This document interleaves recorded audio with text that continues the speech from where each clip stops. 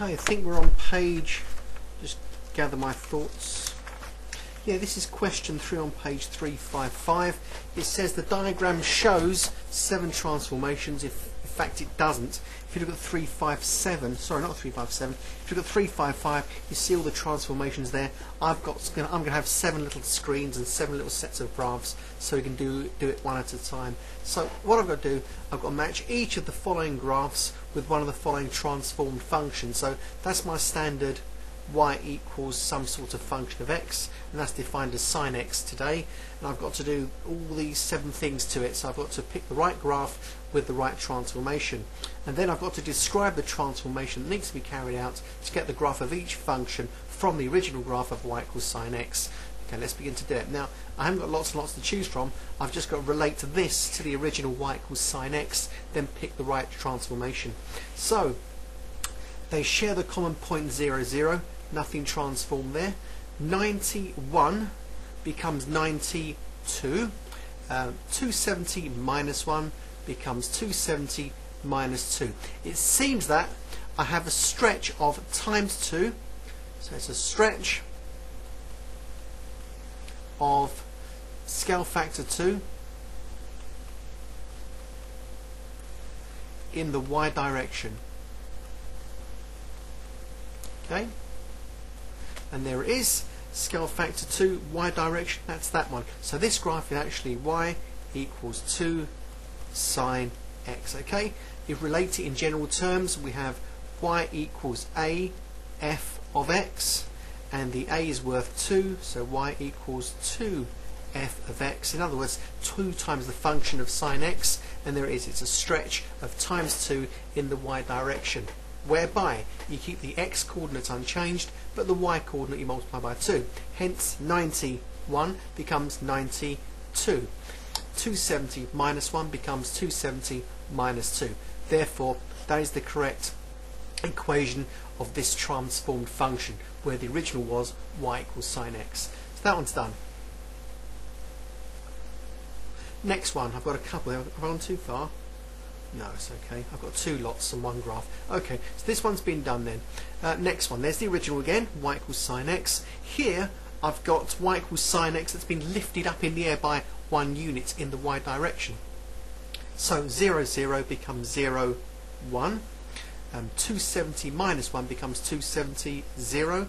So as you can see, what's happened is the graph has been lifted plus one unit in the y direction so from there to there and from there to there. Essentially I've now got y equals sine x the original function plus 1 alright so that's that graph there done. And so essentially I've used a vector to translate the graph or the function y equals sine x and the vector used sorry being a bit long-winded but the vector used is now I've gone from 0 0 to 0 1 essentially I've lifted the whole thing 0 units along and 1 unit straight up. So it's a translation using vector 0 1 and that is the, the new transformed graph of y equals sine x plus 1 so that's done.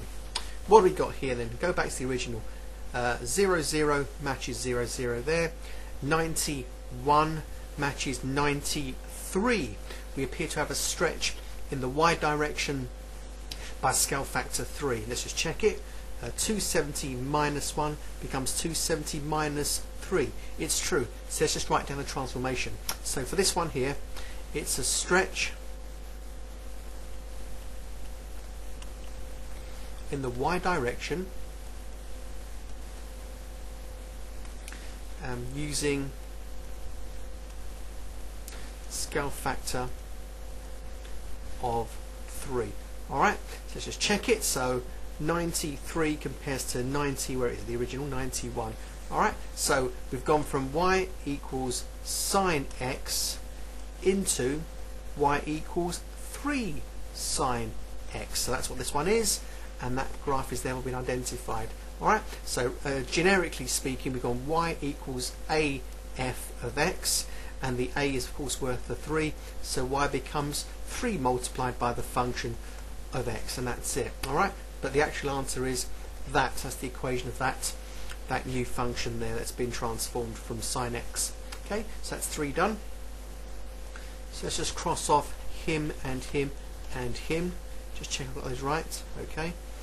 Next one um, again here's the original y equals sine x there 0 0 becomes 0 2 seems to have jumped up two units in the y direction. Um, 270 minus 1 becomes 271. It's gone up once, twice. So I'm convinced then we've gone up two units. There you go. 360 0 becomes 362. So we've gone up two units in the y direction. So we've got we're looking for y equals sine x plus 2 and that's that one done. So it's a translation of y equals sine x and we're using vector 0 along and 2 straight up in the air. Alright? Beautiful, isn't it? That's all there is to it. Now, this one here is a lovely one. Um, let's compare with the original. So 0, 0 remains a 0, 0. Um, 91 becomes 90 minus 1. 270 minus 1 becomes 271. Effectively what I have is a reflection in the x-axis. This is me dotting in ever so carefully and nicely and that blue dotted arrangement actually matches what's there in graph f and graph f is therefore going to be y equals minus the sine of x. In other words, generically speaking, y equals minus f of x. And you know that's a reflection in the x-axis so we're going to say so. reflection in the x axis. And I, I, think I've got that on there. Where is it then? So we're looking for y equals minus sine x and there it is. We've got it. Okay. Let's just cross off these few. I've got that. I've got that. I've got that. What else have I got? Cross them off I've got that one and I've got that one. There's two left. So here, here are the last two then. Now this looks quite easy. I'm going from 0 0 to 0 minus 2 I think I've dropped down two units. I'm going from 91 down to 90 minus 1 there it is there. I've dropped down two units like that. I'm going from 80 180 0 to 180 minus 2 yep that's correct. So essentially I've got my y equals sine x and then I subtract 2 alright that's my transformation. So that identifies that one there. So how did I do that? I did another translation. And I used the vector 0 minus 2 okay? 0 left or right not moving at all. And I'm dropping the graph straight down 2 units alright 2 units straight down hence 0 minus 2 to translation vector so I've gone from y equals sine x to y equals sine x minus 2 and therefore this last one has got to be y equals minus 2 sine x. But let's see why it is. Now, there's two ways of looking at this one, and I'll do it the most obvious way. If the if the 2 wasn't there, we'd have y equals sine x. So um, we'll have y equals minus sine x. And you know that's a reflection in the x-axis. So the first thing we're going to do is say, uh, number one, reflection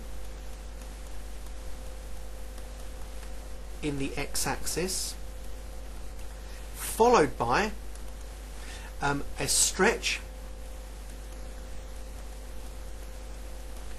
in the y direction of scale factor 2. Have you got that? So what we do, let's just do a quick reflection. So we're going to reflect it first. So that's what we're doing now. There's, there's y equals minus sine x. And then we're going to stretch it up there and stretch it along there by scale factor 2. And that gives us the results shown in graph G. Okay, So that's one way we can say it. Now, I can say it a different way and I'll change colour. I can say it will be a stretch. Let's put it up here then. This is the alternative solution. Um, stretch in the y direction using scale factor of minus 2. So this minus 2 okay, has the effects of reflecting it in the y-axis and stretching it um, parallel to the y-axis by a scale factor of 2. Alright, so that's two ways you can say it. I prefer reflect it first then stretch it or you can stretch it using a scale factor of minus 2 and either way you get the same effect and that's it. I've matched each um, transform graph um, by comparing it with the original y equals sine x. I've matched each graph with the correct equation and I've described how each one can be transformed from y equals sine x to each of those seven transformed functions. And that's question three done. Quite tricky, not too bad though. And uh, I think I'll save that video. Definitely a keeper.